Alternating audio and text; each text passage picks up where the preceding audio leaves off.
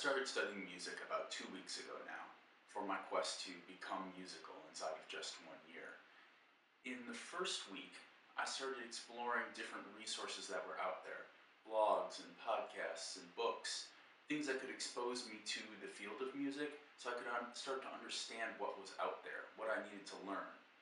Now, in the second week, I started looking at different tools, different educational products that would potentially help me improve the speed at which I could learn music.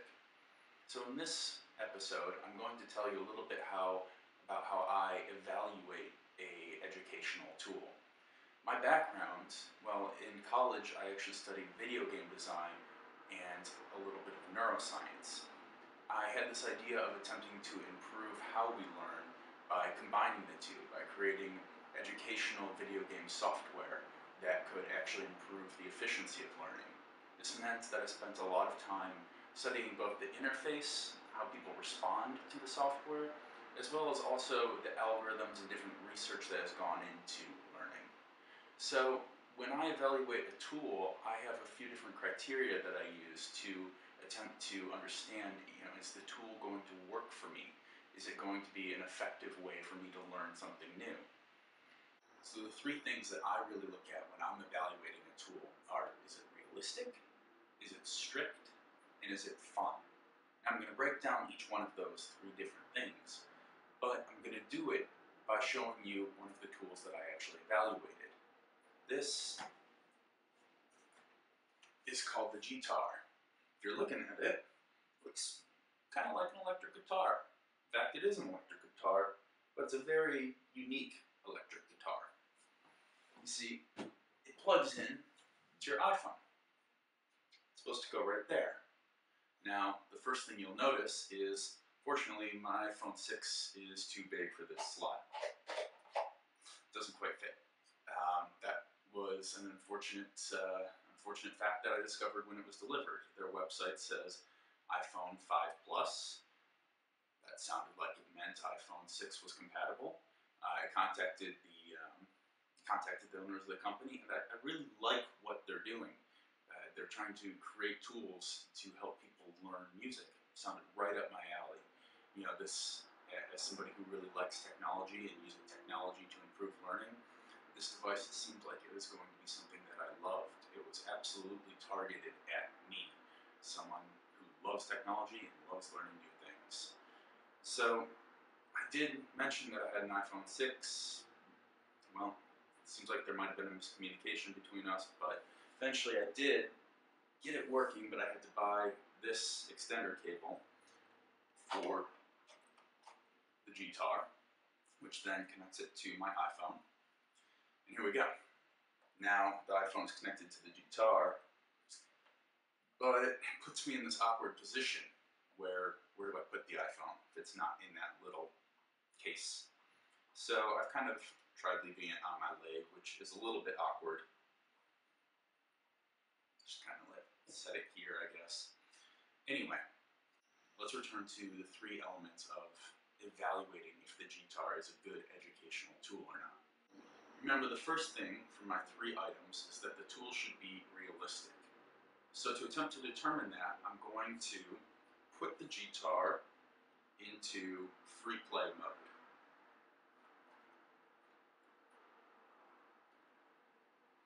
Turn it on there, make sure it's connected, and select free play from the menu. Now, you can start to strum around well, there's some missing notes in there sometimes. If you listen closely,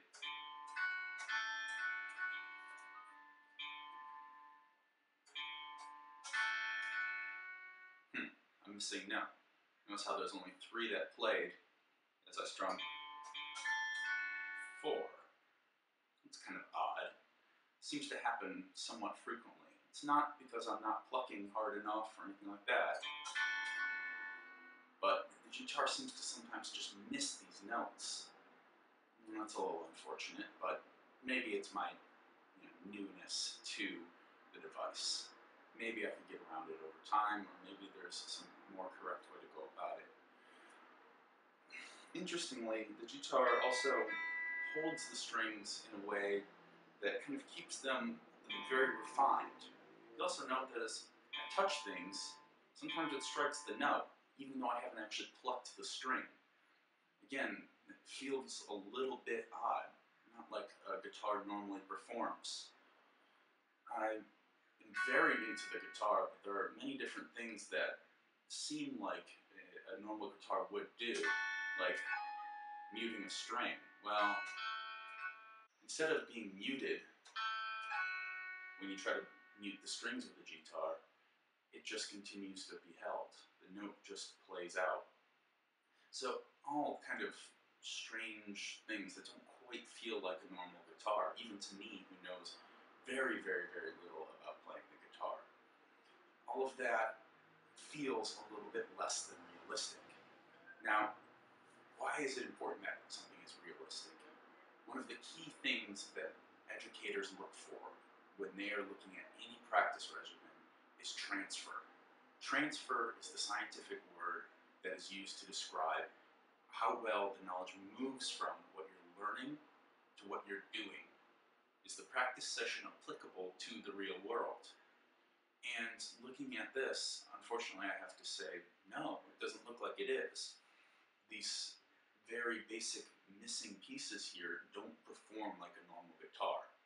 So even if the education on guitar works well, it probably won't transfer to other part, other aspects of musicality, other aspects of playing a real guitar well.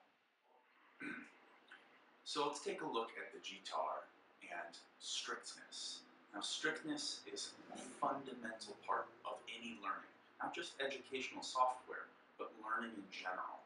The process of learning is the process of making mistakes, noticing the mistake, and correcting the mistake. And each time you do that, you've learned.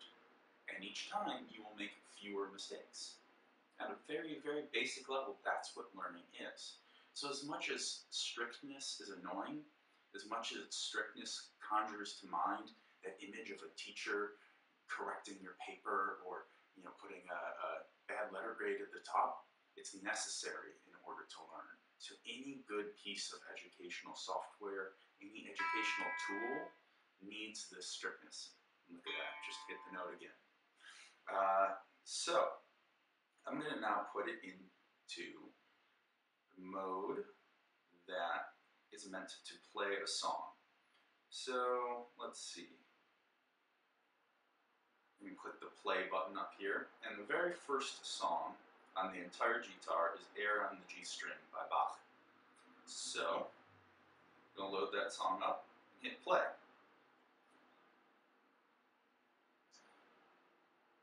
Now, down the iPhone, you can't quite see it, but there are notes coming at me.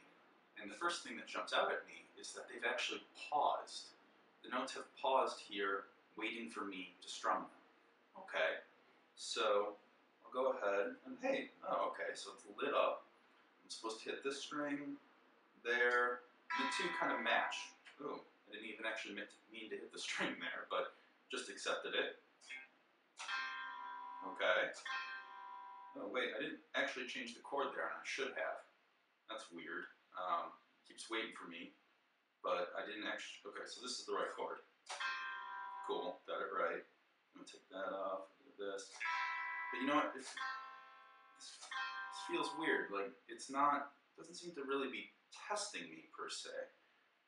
Let's see if this theory is right. Huh. I'm not playing any of the notes I'm supposed to be playing right now. Guitar is just accepting it. See? Required. So unfortunately, it looks like the guitar isn't very strict because I'm racking up points right now and I'm not doing anything right at all. Now, granted, I do believe there are harder modes. There's, this is an easy mode right now, and there is definitely a medium and a hard mode that I believe requires more precision. But there is no checking going on at all. Literally, n- next to nothing is being checked except did I kind of touch some of the right strings. Here, I'm not even plucking. and the iPhone fell off. So, as you can see, I'm having a really hard time using this as an educational tool right now. The strictness, the checking just isn't there. there I'm not I'm not being forced to. And it doesn't feel like a real guitar. So I, I'm very lacking in confidence that it would transfer over to a real guitar. So that's two of the three things on my checklist. Now let's talk about the last one, fun. This is the balancing aspect. This is what keeps you going as a student. And this is something that a lot of um, game designers tend to focus on, and a lot of educators tend to scoff at, in my opinion. One of my kind of beliefs when it comes to educational software is that we've got these kind of two schools or two camps of education and fun that don't really see eye to eye on how to how to approach the subject of creating a tool that's going to be a good learning tool. And this has gotten a lot, lot better in the last decade. The strictness of the educational system from years ago has kind of given way to a little bit more of a balanced approach between the strictness and the fun. But ultimately, the more a student sticks with the program, the more a student is willing to practice, the better they are going to get. And if all of these three elements are in harmony, if it's realistic, if it's strict, and it's fun, then the student will progress very quickly. And the reason for this is because the strictness enforces the ability to learn. The realistic element means that it's applicable to the real world, and the fun means that the student will keep trying it. So, I've kind of shown you why I think the GTAR doesn't quite live up to its promises there. Now, as an aside, I will say that this device does do other things than just education. For example, it is a MIDI controller. I don't really know what that means, but apparently it's a pretty cool thing that lets you connect it to your computer and um, kind of do different recordings in a different way. Maybe I'll talk about that more later on when it becomes something that I'm interested in. But right now, it's just kind of something I'm aware of that the GTAR has the capacity to do, and other reviewers have suggested that it actually excels more as a MIDI controller than as an educational tool. So there's one concession, but as an educational tool, unfortunately, I feel that the GTAR really falls short. In the next episode, though, I'm going to talk about the tools that have been working for me. Of course, for those music purists out there, and for those people who have studied the guitar before, don't worry, I'm not forgetting scales or chords or anything like that.